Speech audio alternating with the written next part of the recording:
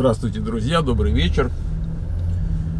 Прочитал я сегодня статью интересную, хочу вам пересказать. Э, ну и, может быть, так прокомментировать. Э, написал ее Майкл Блумберг. Это человек э, очень известный в Соединенных Штатах и, наверное, во всем мире тоже. Это шестой человек по состоятельности, по богатству личному в мире. У него его личное состояние там 44, по миллиарда долларов. Ему 75 лет. И он не только бизнесмен, он еще филантроп известный, он еще и политик тоже. Майкл Блумберг был э, мэром Нью-Йорка. Уже будучи бизнесменом известным, он вот как-то вот решился, так сказать, э, поучаствовать в жизни города родного. И, э, и он был избран мэром и был неплохим мэром. Я никогда не слышал, что кто-то на него там сильно ругался. Во всяком случае,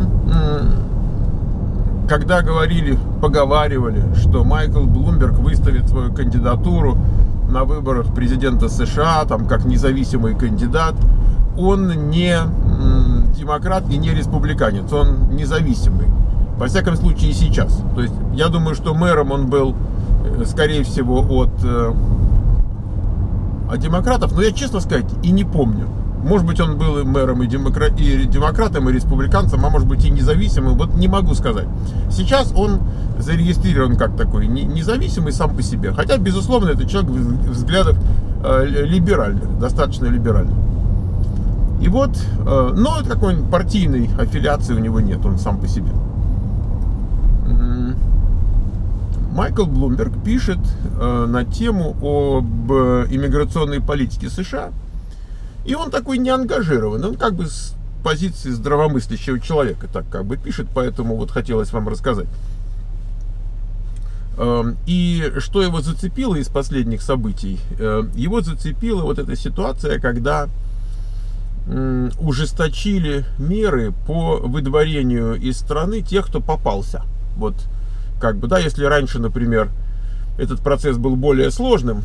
И кроме того, вообще-то, как бы есть список приоритетов на выдворение. Да, там криминал в первую очередь, там еще что-то. И даже Трамп, вот он э, там свой какой-то список составил приоритетов, э, включив туда на последнем месте, там идут люди, которые незаконно воспользовались там социальными программами и так далее. Но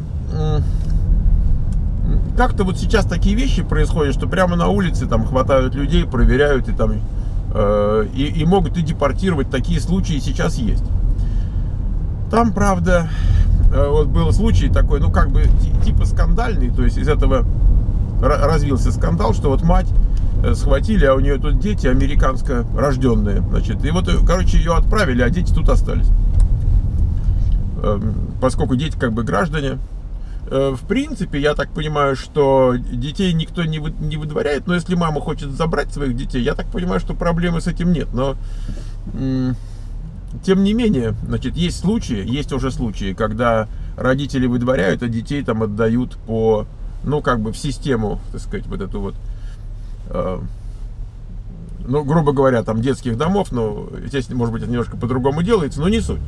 То есть э, фактически разлучают детей с родителями вот таким, таким вот методом. И он э, э, выступает так, что вот это неправильно все, говорит он. То есть не в том смысле, что, конечно, надо разрешить тем, кто здесь нелегально оставаться тут со своими детьми. Он говорит, ну вообще всю систему надо менять.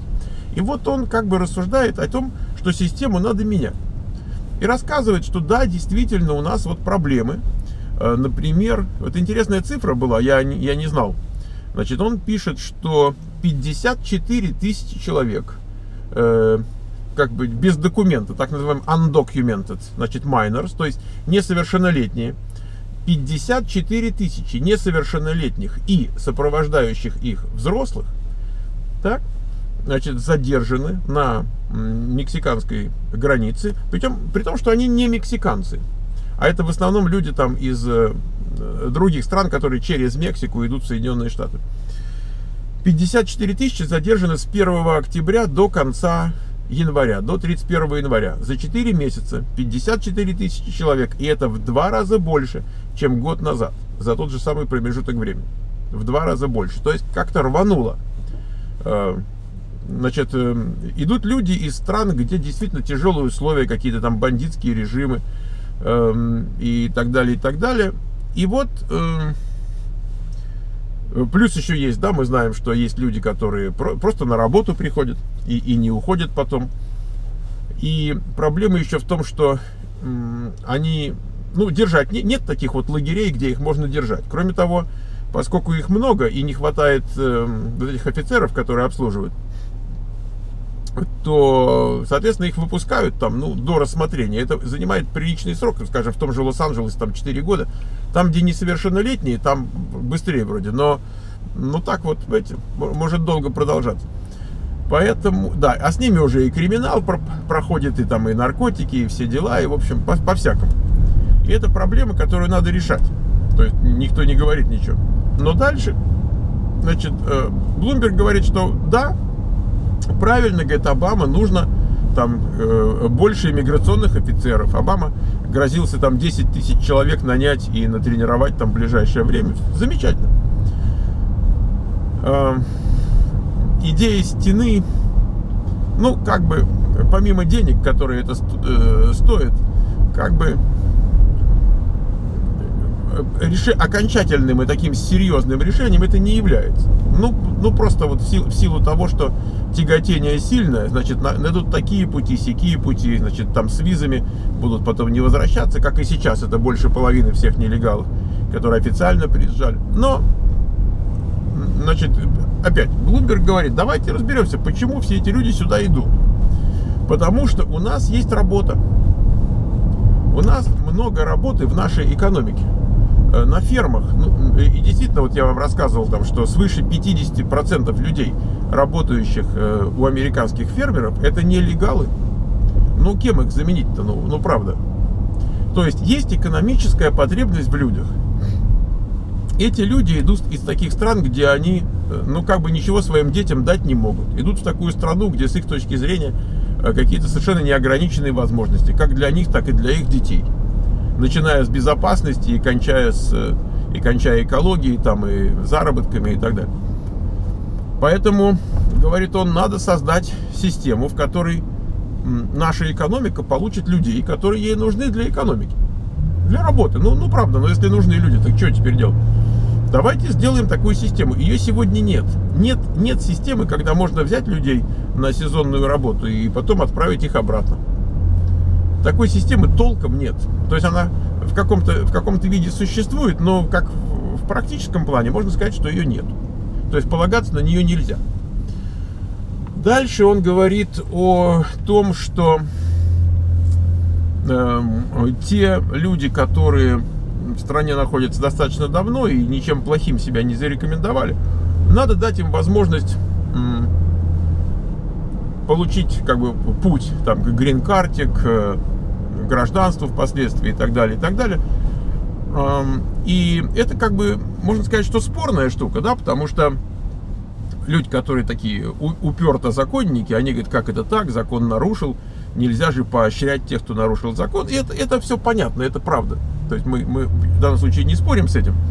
Но публиковали вот статистику, что 70% людей, 70 э, людей, процентов людей, которые голосуют за республиканцев, э, считают, что нужно дать возможность легализа легализации тем, кто здесь находится достаточно давно, там 5 лет, 10 лет и так далее. Их очень, очень много.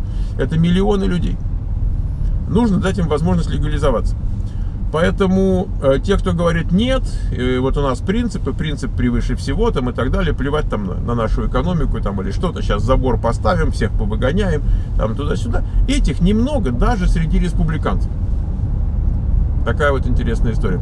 Они, конечно, могут заблокировать какие-то действия там в Конгрессе там и, и так далее. Это, это тоже правда, это уже бывало. Вот та реформа, которая в 2013 году должна была бы пройти, вот она из-за них не прошла, они ее сорвали. Вот с, с этой логикой. Но в целом в стране очень большая поддержка. 90% людей, голосующих за демократов, и 70% голосующих за республиканцев считают, что нужно, нужно дать им возможность легализоваться и не нужно их трогать. Эм, так что вот, эм, как бы он так спокойненько там рассуждает, э, не, не принимая сторону тех или сторону этих. Он просто как человек бизнеса. Эм, он говорит, что люди будут сюда стремиться, независимо ни от чего, законно или незаконно. А, есть такая идиома американская, если вам интересно будет, э, такая by hook, hook, да? by hook or by crook. Значит, ну, дос, не дословно, но так по смыслу, там, любыми, любыми возможными способами. Они будут сюда стремиться. И в той мере, в какой как бы граница дырявая. И здесь же еще, знаете, есть большая индустрия, э, продают липовые документы. Недорого. Они, правда, липовые такие, как бы там липа почти очевидная. То есть они такие грубо сделанные, но буквально там за сотню долларов. Там, э, у нас была студентка одна, я помню, э, из наших, из советских, так сказать. А другая студентка, мексиканочка, которая была нелегальная и работала в Walmart. То есть в большой серьезной компании. И вот это, и так говорят, а как тебе удалось? И она ее научила, пойдешь, говорит, в Сан-Хосе, на такой-то рынок, увидишь, там будет стоять мужик, и он так-так постукивает газеткой, вот как-то или там чем-то, журнальчиком, вот так постукивает. Вот это, говорит, тот самый человек. Ты к нему подойдешь, значит, короче, ей за 120 долларов сделали, э, я не, не помню, что там это было, грин-карта или ID там, ну, в общем, какой-то документ ей сделали. Вот, э, я его видел, он такой немного, ну, ну, почти как настоящий. То есть, если сильно не всматриваться уж прямо вот так вот, то вроде как и сойдет.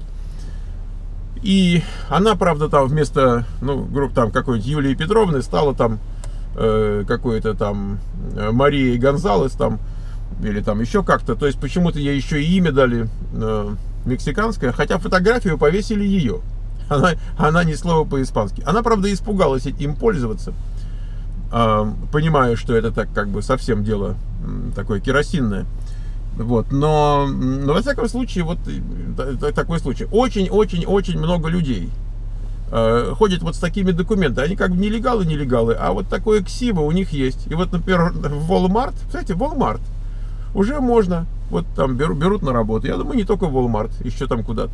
Он пишет о том, что надо ввести э, биометрические паспорта биометрическую как бы идентификацию личности жителя США, легитимного, чтобы не было никакой возможности, там, скажем, нелегитимному там, получить работу. Ну, то есть, эм, он говорит о том, что те проблемы, которые есть в этом деле, решаются гораздо более простыми и м, дешевыми путями, нежели возведение стены там, где тысяча миль там будет стоить, вот сейчас посчитали, там 38 миллиардов а граница 2000 миль, не одна. В общем, так он как-то вот по-своему. И дальше он говорит, что основная проблема вот этого всего состоит в том, что людей, значительное количество людей удалось убедить в том, что есть очень простые решения, типа э, поставить большую стену и всех депортировать. И вот кажется, что вот это все решит. Но это не решит. Потому что в экономике все равно нужны люди, которые работают на фермах. И э, есть все равно много людей, которые стремятся попасть в США hook or by crook. Значит, лучше, чтобы это было hook, э, нежели by crook. Как он объясняет. И, значит, э, так что, вот такая интересная, такая интересная статья. Я, ну вот, может быть, на 95% с ним согласен. Эм, то есть он, конечно, с либеральных позиций э, к этому подходит, но там нет гнилого либерализма. Там такой либерализм практический. Практический. И он... Мне кажется, если бы вот такие люди, как Майкл Блумберг, проводили бы вот эту реформу, то было бы, в общем-то, э, дешево, практично. Все было бы путем. Да, так что не знаю, вот когда там говорили, что вот пусть бизнесмены придут и Америку назад вернут там в хорошее состояние, да, там, вот, вот, вот пусть бы такие, как Майкл Блумберг пришли. Э, я помню, вот я рассказывал, что были слухи, что вот он выставит свою кандидатуру как независимый кандидат на выборах, Но он э, так некоторое время выжидал, выжидал, а потом сказал, что не будет. И мы с вами понимаем, почему это происходит. Это, ну, из очевидного. Есть вещи неочевидные, мы можем просто не знать. Но из очевидного это колоссальная нагрузка на здоровье человека. Э, это поливание грязью на самом таком высоком и массовом э, уровне. И это ответственность, конечно, чудовищная ответственность. И потом, действительно, 75 лет, но был бы моложе лет на 10. Конечно, другое дело, может быть, было бы, я не знаю. Мы видели очень много достойнейших людей, достойнейших, которые отказались участвовать вот в этом во всем, э, отказались э, быть кандидатами э, в президенты, потому что так много труда, так много усилий, так много грязи, отвратительной, мерзкой грязи в это во все вовлечено, что такое ощущение возникает, что маломальски порядочному человеку как бы просто невозможно в этом участвовать. Так вот, такая, такая фигня получается. В общем, друзья, я вам рассказал, чего пишут. Э, я, я очень глубоко уважаю Майкла Блумберга, и поэтому так вот подумал, что есть, есть смысл рассказать. Пару слов о нем сказать и пару слов о том, что он пишет. И, может быть, я под конец порекомендую вам читать э, bloomberg.com. Наверное, он есть на разных языках, я не уверен. Там и телевидение свое есть, и веб-сайт хороший есть. Я, я люблю этот сайт. Это первый сайт, который я проверяю с утречка. Вот, то есть я могу там 3, 4, 5 посмотреть, но обычно я иду на Bloomberg и смотрю там. Это первый сайт, который я смотрю. А потом дальше там немножко слева, немножко справа, немножко иностранного, там там BBC, там немецкая волна и так далее. И, иногда очень интересно пишут именно там, глядя на Америку вот с европейского континента. Тоже очень интересно бывает. Ну, в общем, счастливо и до скорых встреч. Завтра у меня урок с утра, поэтому я выйду попозже со своими видео, вот не, не так, как обычно, а на несколько часов позже, когда вы будете спать. Счастливо!